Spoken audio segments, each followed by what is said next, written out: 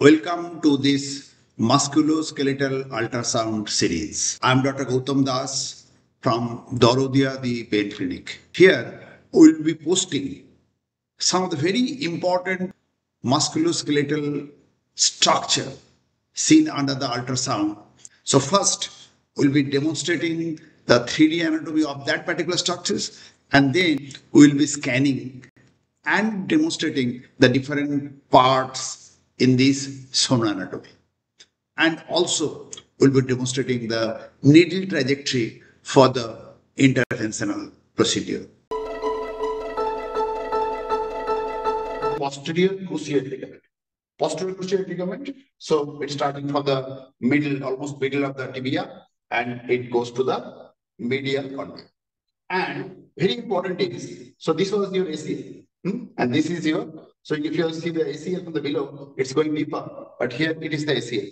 And this is your PCL, posterior cruciate ligament.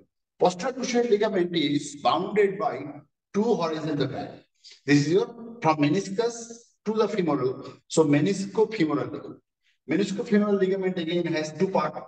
This is your Humphreys part and this is your Wrisberg part. So you see these two ligaments are just like, you know, the uh, starting like this with two finger and in between it is enclosing the, suppose this is your posterior cruciate ligament. So it is like that. So PCL is like entrapped between these two meniscofemoral ligaments. So here, what is important?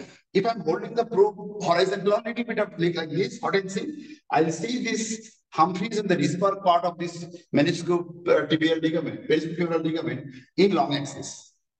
And if I'm holding the probe like this, what I'll see?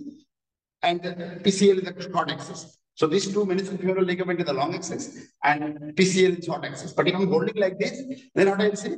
I'll see PCL in the short long axis and these two ligaments, uh, PCL in long axis, meniscofemoral posterior and the anterior band in the short axis, and also a little bit of ACL that is also in the short axis, small part of the ACL.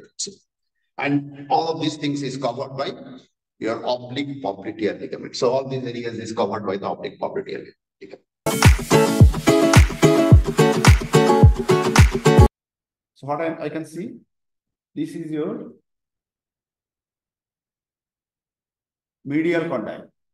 This is the articular cartilage. Above that is your semi semitendinosus muscle.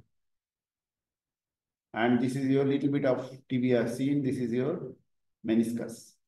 So from here, I am focusing over the tibial uh, tibia and now I am sliding the, pipe probe. This is the very important home page for me. So I'll be demonstrating it. I'll be telling you what exactly I can see here.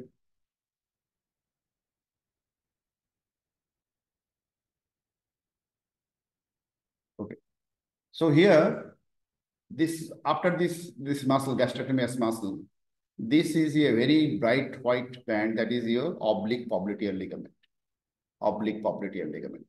This is your the Wrisberg part of the meniscofemoral. Meniscofemoral ligament is what?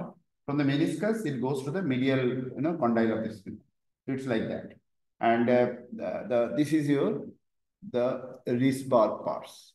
And this hypoechoic part, little bit of hypo, little bit of hyper. This is your long axis of the posterior cruciate ligament. So it is bounded by two part of the meniscofemoral ligament. This is anterior part and this is your posterior part. This is your PCL. This is your oblique popliteal ligament, OPL. Okay. Now again see. So I am starting from here. I am focusing over the medial condyle and the and the tibia. So when I can see the two bony prominence, I'm sliding, sliding. Once I'm getting this image, I'm tilting the proximal part little towards the condyle, little, not much. Then I can see the PCL very nicely. And you can do the heel toe maneuver so that you can see it even better. So now the PCL is very nicely seen. So this part is your PCL. Okay, so this is the long axis and short axis what I should do? the short axis, I'm keeping my aspect marker the lateral. That means left hand side of my screen is your laterals. So here, what I'm doing, I am first putting it into the intercondylar area. So on the left hand side, this is your lateral condyle. This is your medial condyle. You can see the articular cartilage of the condyles. And now what I'm doing, I'm fixing the medial condyle, means the other side, I'm fixing. Right hand side, I'm fixing. And left hand side, I'm going towards the meniscus. Means I'm over the condyle, and now I'm going towards the meniscus.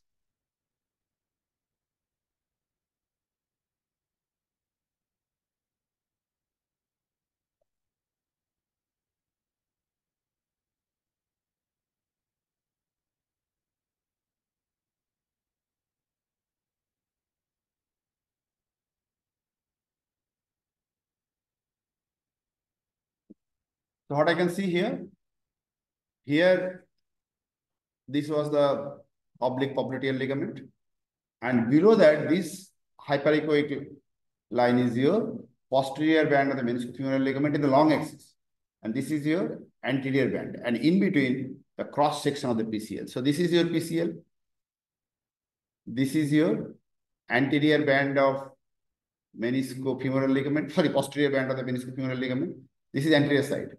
So this is anterior band of the meniscofemoral ligament, and this is oblique popliteal ligament. And here you can see a part of the ACL, posterior part of the ACL.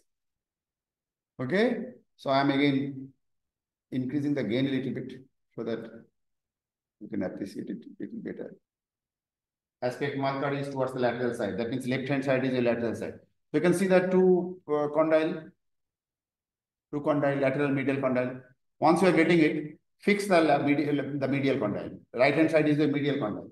And then I'm sliding the probe towards the meniscus. This is tibial bone. So just above the tibial bone here.